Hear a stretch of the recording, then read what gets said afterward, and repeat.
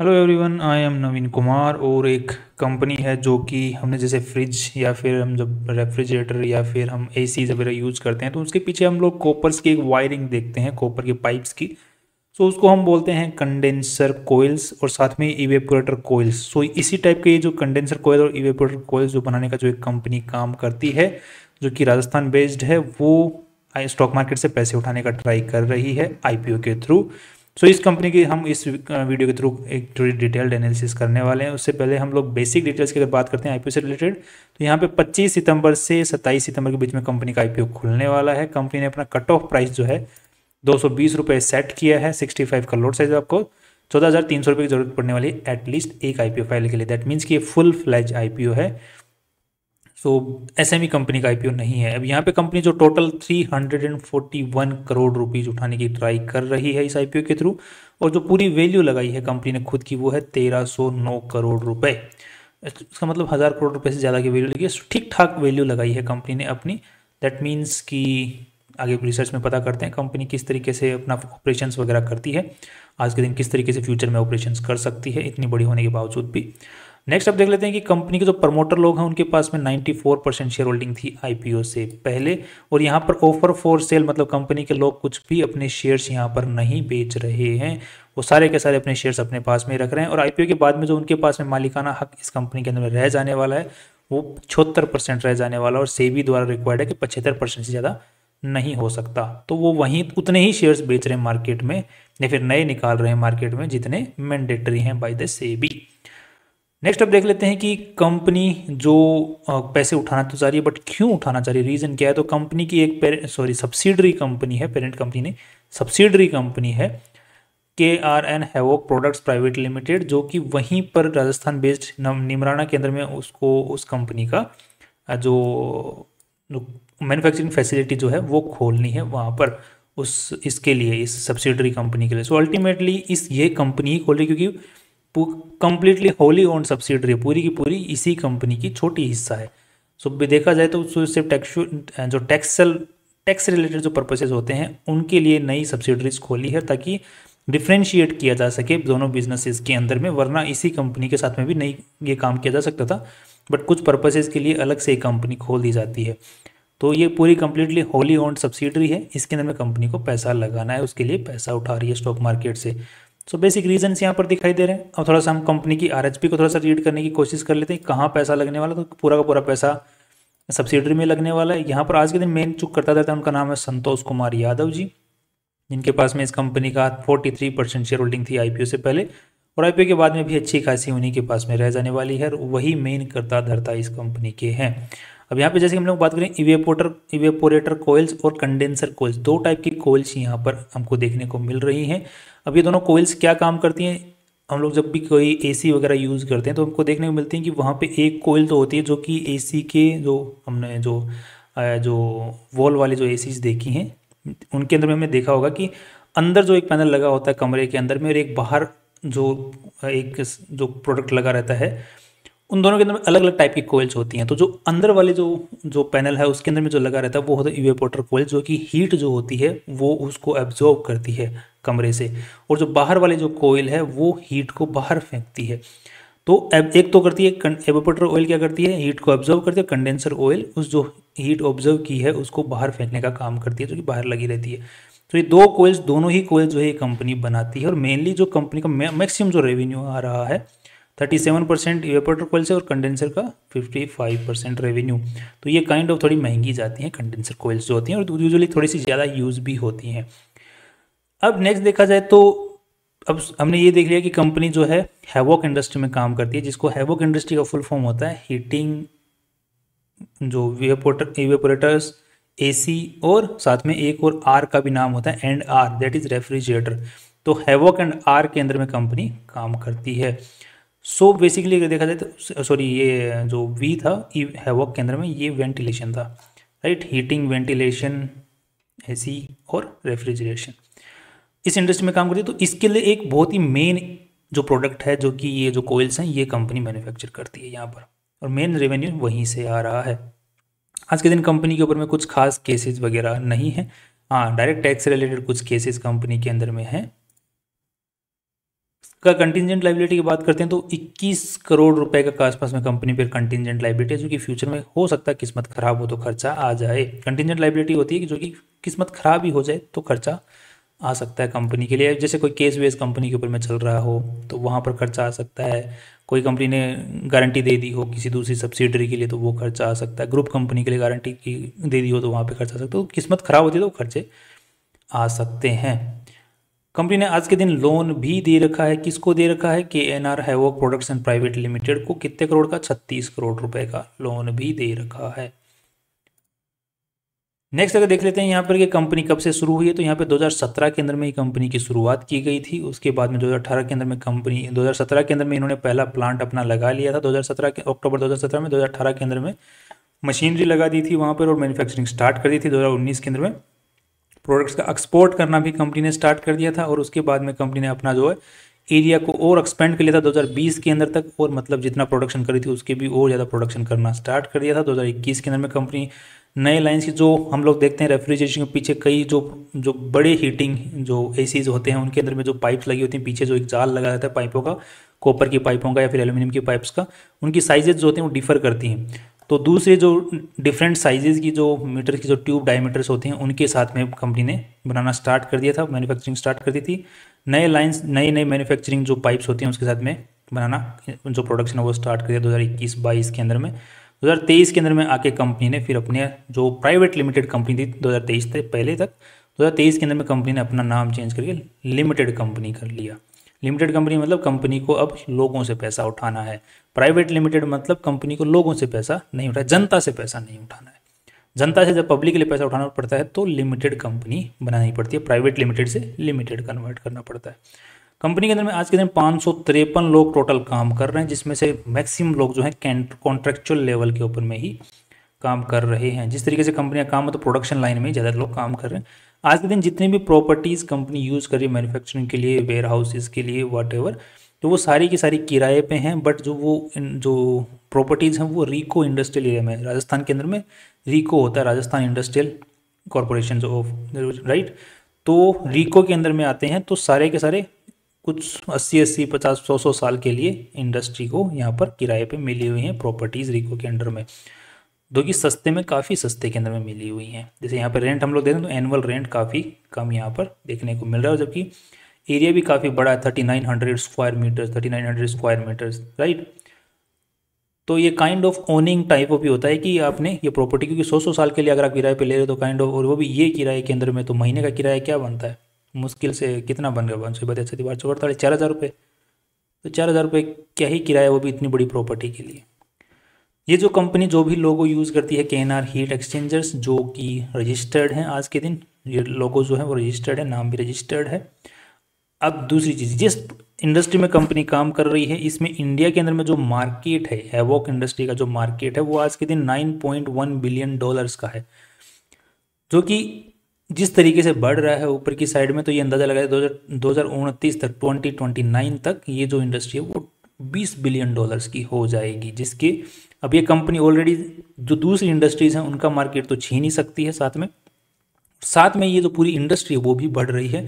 जिसकी वजह से इसके अंदर में आगे आने वाले टाइम के अंदर में जो साइज़ है, जो वो है, इस कंपनी की वो बहुत ही बढ़ सकती है, बड़ी हो सकती है। बट उसके लिए हमें ये भी देखना पड़ेगा कि आज कंपनी खुद की वैल्यू क्या लगा रही है। कहीं ये सब नहीं कि कहीं पाँच साल के आगे की वैल्यू आज ही कंपनी ने लगा ली हो राइट तो उसको भी हमें थोड़ा सा चेक करना पड़ेगा, जो आगे चेक करेंगे। आज के दिन कंपनी के ऊपर में जो इंस्टॉल्ड कैपेसिटी है इवेपोरेटर्स और कंडेंसर कोयल्स बनाने की, वो कंपनी द्वारा जो है 84 परसेंट इंस्टॉल्ड कैपेसिटी के ऊपर में आज के दिन काम करी। तभी तो कंपनी ने बोला कि हम नई सब्सिडरी खोल रहे हैं। सब्सिडरी के अंदर में नई फैक्ट्री खोलेंगे। इन जो मैन्युफैक्चरिंग प्लांट है वो लगाने वाले हैं। और उसके अंदर में यही इसी टाइप का काम हम लोग करने वाले हैं। क्योंकि ये ऑलरेडी 84 परसेंट के ऊपर में चल रही है, जो कि पिछले साल 74 पे था तो आगे फ्यूचर के अंदर में ये 95 के आसपास में चली जाएगी। तो एक्सेसिव वर्क कंपनी के पास में आ रहा है बिकॉज़ इंडस्ट्री जो है बहुत ही भयंकर तरीके से बढ़ रही है डिमांड बहुत ही ज़्यादा चल रही है आज के दिन। कंपनी का अगर मेनली अगर देखते हैं तो टॉप जो कस्टमर है वो डाइकिन जो हम लोग डाइकिन की जो एसी वगैरह आती हैं डाइकिन की, वो मेन इस कंपनी का कस्टमर है। मतलब वो बहुत ज़्यादा इनसे माल खरीदता है। जब जबकि जितना रेवेन्यू कंपनी का होता है, उसमें थर्टी फोर परसेंट तो केवल डाइकिन ही खरीद लेता है। इसके अलावा अगर टॉप टेन कस्टमर्स की बात करें सेवेंटी टू परसेंट जो है उन्हीं से आ जाता है टॉप टेन कस्टमर्स से रेवेन्यू आता है। बाकी जो है छोटे मोटे कस्टमर्स भी और हैं कंपनी के पास में। इसी के साथ में हम लोग ये भी देख लेते हैं कंपनी का जो प्रोडक्ट्स हैं वो मेनली कहाँ यूज़ होते हैं।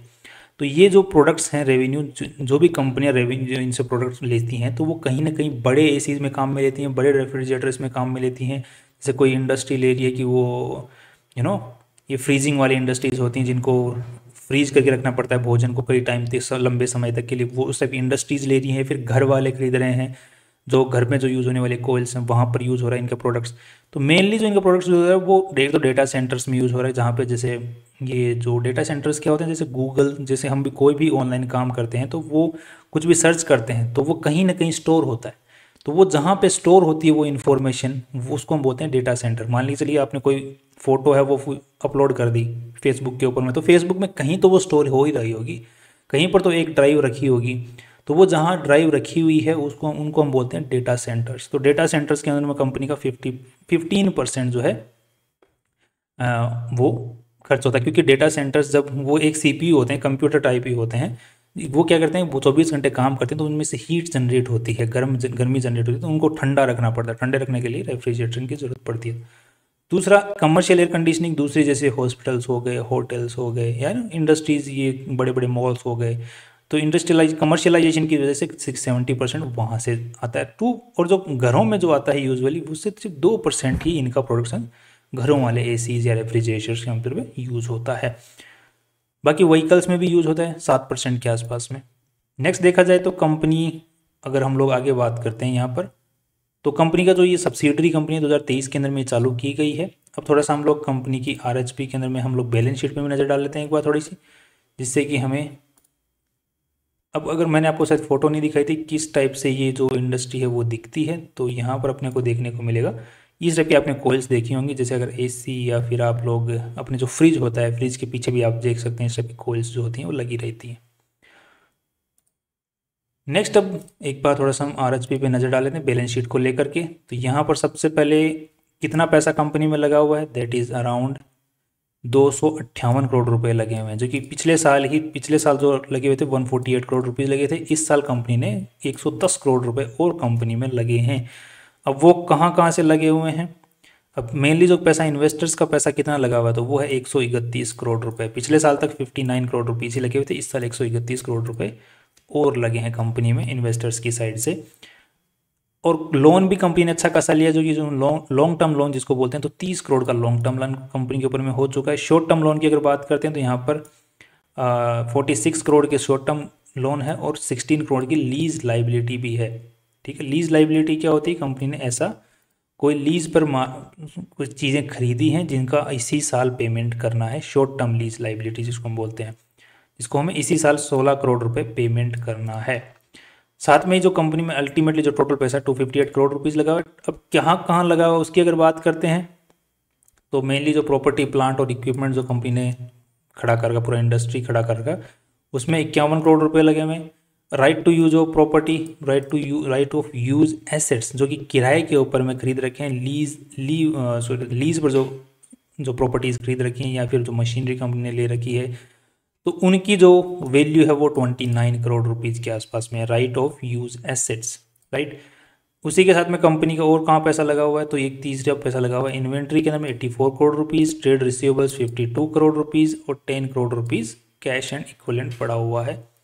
अब यहाँ पे जो मेनली मेरे को कंसर्न नज़र आ रहा है वो है right of use of assets जो कि कंपनी अपनी सब्सिडरी कंपनी जो खड़ी की है उसके लिए जो किराए पे जो सामान खरीदा है, उसके ऊपर में बहुत ज़्यादा पैसा कंपनी ने खर्च किया है इस साल। बहुत ही ज़्यादा पैसा खर्च किया है उस जो, और अभी भी इस जो जितना आई से पैसा उठाने वाले, वो मैक्सिमम पैसा वहीं पर खर्च होने वाला है। सो कंपनी सब्सिडरी पे बहुत ही ज़्यादा खर्चा कर रही है यहाँ पर। नेक्स्ट, अगर हम कमाई की बात करते हैं तो यहाँ पर पिछले साल जो कंपनी ने रेवेन्यू जनरेट किया था two seven forty seven crore किया था, इस साल तीन सौ आठ करोड़ रुपए के आसपास में कर दिया, जो कि अगर इंक्रीज़ देखा जाए यहाँ पर तो लगभग कितना इंक्रीज़ देखने को मिल रहा है? ट्वेंटी परसेंट का रेवेन्यू इंक्रीज़ देखने को मिल रहा है। अगर नेट प्रॉफिट्स की बात करते हैं तो यहाँ पे बत्तीस करोड़ से बढ़कर के उनचालीस करोड़ रुपए हो गए। तो रेवेन्यू भी इंक्रीज़ है, साथ में ही नेट प्रॉफिट्स में भी इंक्रीज़ है तो यहाँ पर एक अच्छा खासा मार्केट में इंक्रीज़ देखने को मिल रहा है। नेक्स्ट अगर हम लोग कैश फ्लो की अगर बात करते हैं तो कंपनी कैश फ्लो से भी पैसा जनरेट कर रही है। That is around 19 crore rupees 18 crore रुपए से 19 करोड़ रुपए इस साल कैश जनरेट हुआ है। तो कैश भी जनरेट हो रहा है। कंपनी अपने आप को बहुत ही ज़्यादा टाइम के साथ में बड़ा भी करती जा रही है, क्योंकि कैपेसिटी यूटिलाइजेशन बहुत ज़्यादा कंपनी का बढ़ रहा है बिकॉज़ इंडस्ट्री बहुत तेज़ी से बढ़ रही है कि हम लोगों को, अब हैवोक इंडस्ट्री है तो इसके अंदर में सारी चीज़ें ही हर सर्दियों में लोगों को चाहिए कि हमको गर्म गर्मी वाला मौसम चाहिए भाई। गर्मियों का मौसम है तो हमको सर्दी वाला मौसम चाहिए भाई। तो पूरी इंडस्ट्रीज़ जो है वो पूरे, इस शिफ्ट हो रही है। इन, जो कि इन्वायरमेंटल जो जो कैलमिटीज़ हैं उनसे अपनी स्थिरता की तरफ़ जा रही है कि अब हमें सारी सुविधाएँ चाहिए भाई। तो इंडिया में सारी सुविधाएँ चाहिए तो फिर इंडस्ट्री बढ़ भी रही है। नेक्स्ट अब देख लेते हैं, थोड़ा सा कंपेयर तो हम कर नहीं पाएँगे इस कंपनी को, क्योंकि ऑलरेडी इस टाइप का जो काम करने वाली कोई भी लिस्टेड कंपनी स्टॉक मार्केट में आज के दिन नहीं है राइट फिर भी हम लोग लेटेस्ट डेटा के अकॉर्डिंग पी और पीबी रेशियो निकालने की कोशिश करते हैं तो तेरह सौ करोड़ रुपए की कंपनी ने वैल्यू लगाई है, और जो नेट प्रॉफिट लेटेस्ट डेटा के अकॉर्डिंग कंपनी ने निकाला that is thirty nine crore rupees so तेरह सौ से थर्टी नाइन कर दो।